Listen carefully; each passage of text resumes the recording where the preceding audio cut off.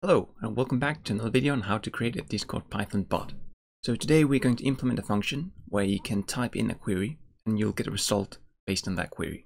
So this query could either be what is the capital of France, what is the population in Estonia, something like this. What you would normally be able to type in Wolfram Alpha, you can also type in something like 2 plus 2. You'll get a result and this result is what we want to display. So we're going to use Wolfram Alpha's API to achieve this. Alright, so to do this, we just need an API key.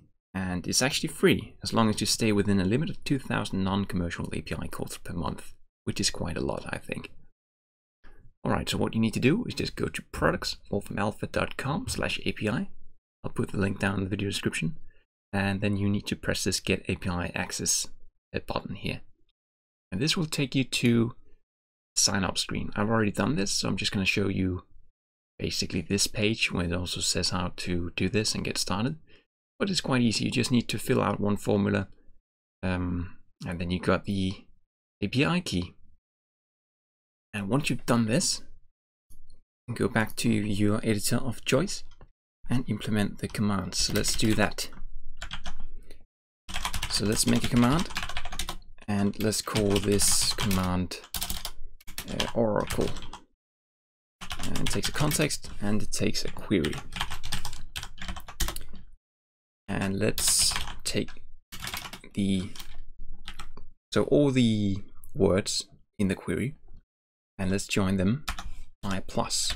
I'll get to why we do that in a minute.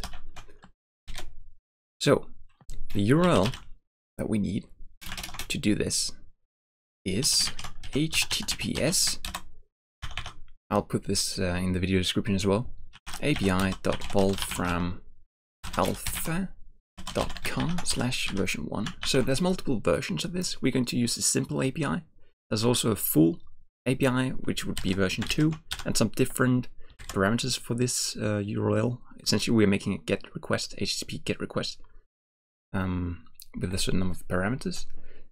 And yeah, you can also use the full API. We're just going to use a simple one. And you want to uh, you want to write this as well. And then we want to give the query and the app ID as well, like the, uh, the key. Let's actually specify the key first. So app ID equal to, and then, so you need the key once you signed up. And this is what you want, want to place in here, okay? Now, I wrote it in a different file called uh, Wolfram Alpha API key. Oh, like uh, I have this keys.py file, which is git ignored, so it won't sort of appear in the Git repository. I recommend that you do that if you have a Git repository. If it's just on your home computer, uh, then it's fine. You can just put it directly in. Just make sure that nobody else can see this. It is essentially your password, kind of. Uh, right.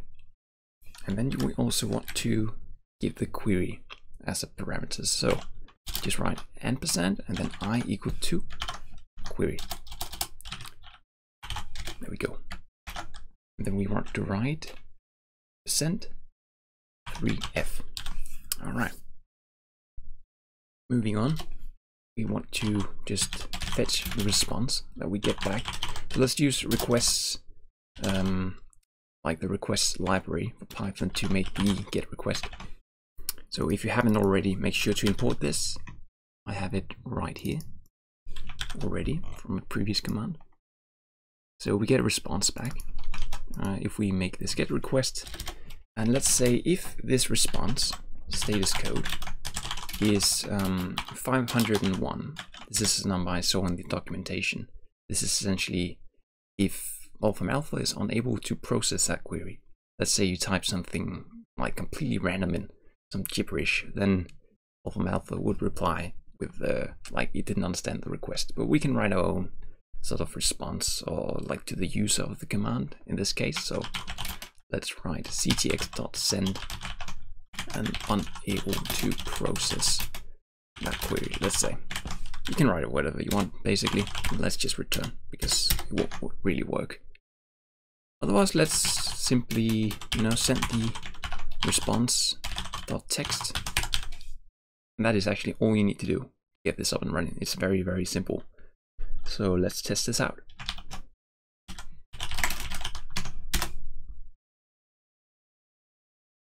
All right, I'm just going to start the bot and go to Discord, which is right here.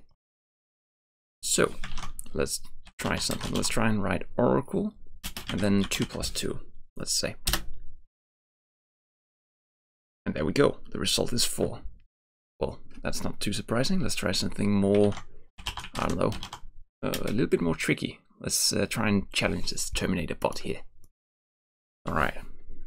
Uh, let's try with the square root of pi times uh, 3 point uh, this. Okay, there you go. Let's try something in text. Let's try what is the capital of Latvia?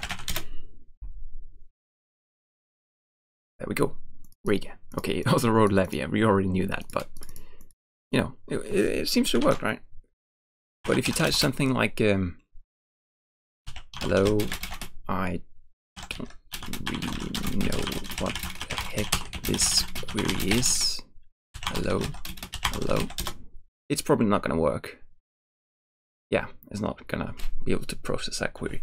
But as you can see, it is so simple to add this functionality to your bot.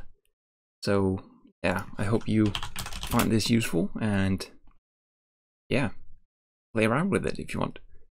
Also, if you're interested, you can check out the other videos I've posted on the channel where we will also like implement some useful features like translating text, or we might actually also take a look at some of the other Wolfram Alpha API uh, like things you can do. But for now, I guess this will be it. So goodbye. Goodbye, if I can spell it correctly.